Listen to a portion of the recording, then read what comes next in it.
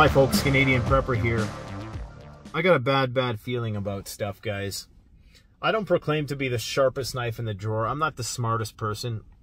When I took the graduate record examination, which is an entry-level test to go into grad school uh, to do uh, graduate work in psychology and experimental psychology, I scored very poorly on the verbal aspect. I scored very poorly on the mathematical aspect. But the part where I shined was on the analytical component. And on that component, I got 100%, which is in like the top 1% of the population. So I don't proclaim to have all the answers, and I'm not the best at intellectualizing things, and I'm not uh, the best in terms of using my words eloquently and in a very impromptu, improvised fashion. I'm no Ben Shapiro. But I do have a good bird's eye view of things because the way my mind works is I'm always thinking big picture. I just everything is related to the big picture for me. When I say big picture, sometimes I'm talking about the outer space big picture. Now, I make videos like this because I care about the truth. I care about my subscribers. I know it doesn't help me a whole heck of a lot in terms of the algorithm because this kind of content competes with my gear review content and my very practical blue strip videos but I do it because I I just feel compelled to speak my mind about certain things. So I don't make this video to scare you per se, but I make this video because this is what I'm seeing. I got a real, real bad feeling about what is going on in the world right now.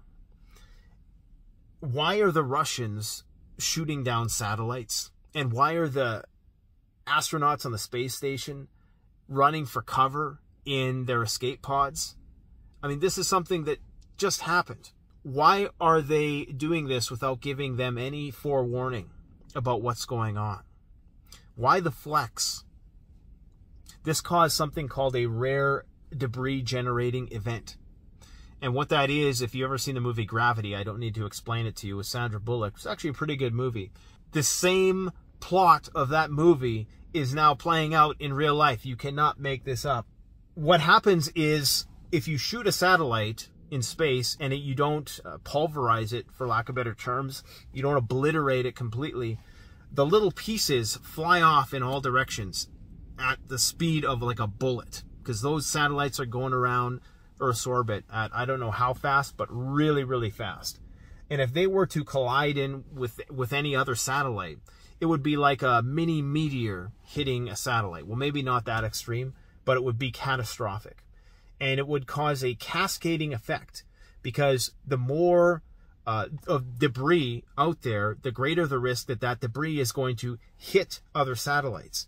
And that debris field would continue to grow and grow as it consumed more and more satellites, potentially just killing all the satellites. Now, that would probably take a long, long time and perhaps there is some way to resolve this that I'm not aware of.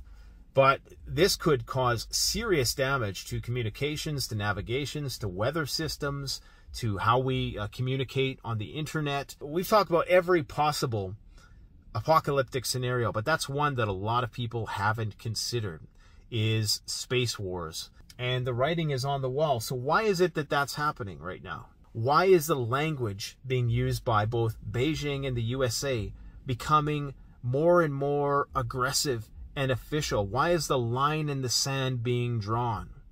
You know, to hear Xi Jinping talk about how any of the any of the enemies will be crushed if they uh, attempt to get in their way of obviously expanding the territory into Taiwan is something that not a lot of people are paying attention to. I'm hearing more and more talk now about nuclear weapons and nuclear armament buildups and how China's starting to build up their nuclear weapons again. And just to, to hear people talk about that, that was something a couple years ago, people weren't talking about that. Why are the Australians building nuclear powered submarines? Okay, why is there this stuff going on on the Belarusian border? And how is that uh, divide between the East and West that's now growing between Europe, that's what they're calling it, okay? Poland is somehow this a gateway into Europe all of a sudden, and you know, all of a sudden it's East versus West again. It's the Russians, the Belarus against the West. Why, oh, why is this never ending thing that's been going on for two years just keep on resurging and resurging? Why is there more draconian methods being employed in China and more and more lockdowns, more and more people being shut into their homes? Okay, why is this still going on? Why are societies ever so incrementally starting to uh, chip away at the civil liberties of the inhabitants of those countries as you have more police in the streets in places where you know people particularly don't need them. And where places where you need them they're not there because they've either resigned for various reasons or there's just not the funding because uh, crime is through the roof. Why is drug use through the roof? Why are we seeing record drought in 2021 that has decimated food production. Yet now we are seeing these just wild weather extremes. Like on the west in Vancouver, they've experienced uh, some pretty catastrophic flooding recently. China has experienced some insane flooding this year, juxtaposed with droughts. So you see, we're, we're living in the age of extremes where you once had people who were fairly moderate and you once had moderate weather, you now have extreme weather and people who are very polarized and on complete opposite end of the spectrums. And the more people go left, the more the other people feel the need to go right until everybody just falls off the scale. And this is what you would expect to see in the run up to World War III is you would expect to see civil unrest, uh, civil conflict potentially. I mean, just think about what's happened this year. January 6th, just think about what happened last year with the riots. Think about the, the military buildup that's now starting to, to come up and the saber rattling, okay, the climate disaster. All of these things indicate that we are in shit hits the fan, that this is just slow motion SHTF go and watch a video I made seven years ago called SHTF The Imminent Pandemic. And I basically predicted this whole thing to a T. Go and watch the video. It's only got like 4,000 views. And it's probably, looking back, probably the most important video that I ever made. But I didn't understand the significance of it at the time. And I've realized now that all the things I talk about on this channel are going to come true because I do have a good grasp of what's going on. I don't always have a good grasp of what's going on on the microscopic scale of things, but my macro my macro is pretty on point. It's just my timelines are usually way too aggressive. And if you can't see the writing on the wall right now, what's going on, I mean, the Russians are shooting down satellites and the astronauts are ducking for cover. You got Inside Edition reporting on food shortages and how grocery stores are using um, facades to mask the food shortages. You have distributors of all the various commodities that we enjoy here in the West raising their prices, some of them on their second and third round of price increases throughout 2021 already. And we have this buzzword now supply chain disruptions. Everybody's talking about supply chain disruptions. It's kind of convenient that we've normalized it with that language. And it's not the fact that maybe, just maybe, that's just the cover story for the fact that things are not going back to normal. Why is the Chinese government telling its population in a roundabout way or telling municipal and local authorities to stock up on food for the winter. Maybe it's not surprising that they've experienced one of the worst uh, winter storms on record recently. And I mean in terms of snowfall. A lot of people confuse snowfall with winter and say, oh, look, this is why things aren't warming up because look how much snow there is. No, snow is actually more of a sign of warming. Snow is a sign of lots of moisture in the air, which is the result of increased warming, essentially on the whole. So we're seeing more extreme weather events. And what they had in China a few weeks ago, or a week ago, I guess, was a winter flood. There was snow drifts that were 12 feet high. All of these events around the world are pointing to the fact that we are reaching a tipping point. The time's going to come when it's undeniable to people. And by the time a lot of people realize it, it's going to be too late. And one of the uh, telltale signs for me that this is happening is that I'm starting to see a lot of people throw a nod my way, throw a message my way, asking for help or assistance, people who I never thought would have. And this is a sign to me that people who I never thought would consider preparedness are really starting to worry. And that could be the result of one of two things. That could be the result of just the, the lag and the time delay between the average person and realizing this stuff that we've been talking about for a long time. Myself happened to be seven years ago when I made that video called SHTF, the imminent pandemic. Or it's that the herd is sensing something, that there's like this wisdom of the herd, you know, that that senses that something is on the horizon, the way the birds sense a, a earthquake is coming and I say sense because the birds are able to feel the vibrations or whatever it is before we can. So it's not just some mystical thing. There's a causal reason for it. And it's that now the conditions are such that there's so many things happening around the world right now that it's it's just virtually undeniable.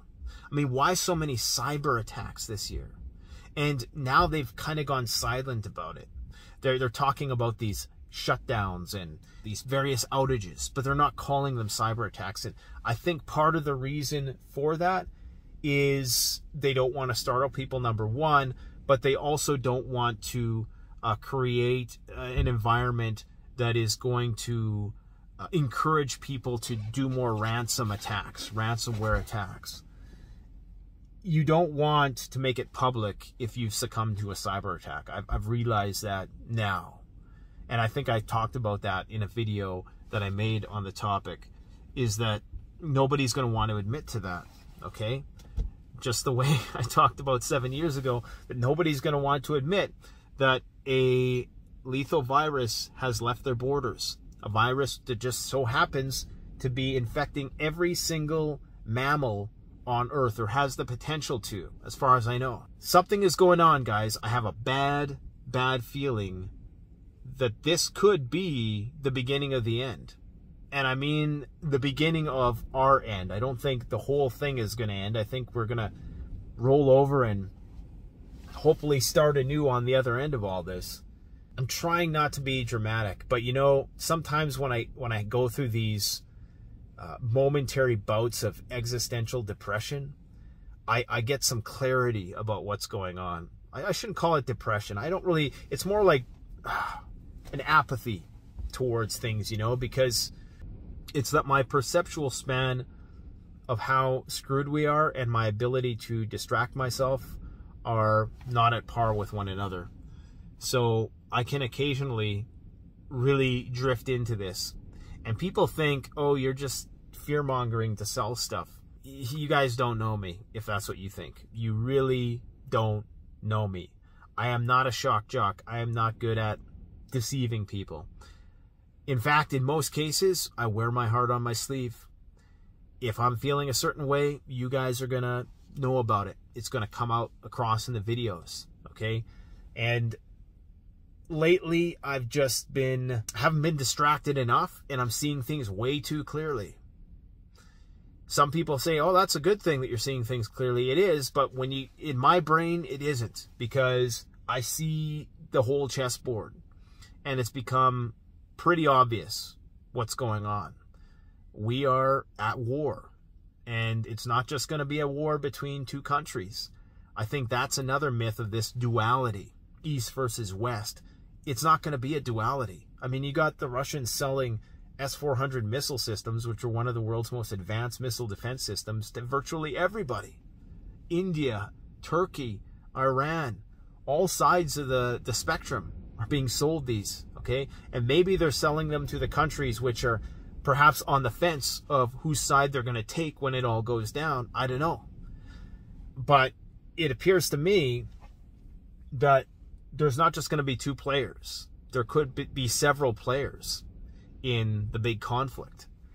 I mean, the Belarusian thing on the border with the immigrants, that is only going to intensify moving forward as the climate changes intensify and as these countries become more and more destabilized in the Middle East, especially having a lot of a Western influence withdrawn from some of those regions, although some people might argue otherwise. Some people might argue that there might be more stability as a result of that. But I think you're going to see more and more refugees, and that's going to cause more polarization within countries. So you're going to see more civil war within countries, more authoritarianism.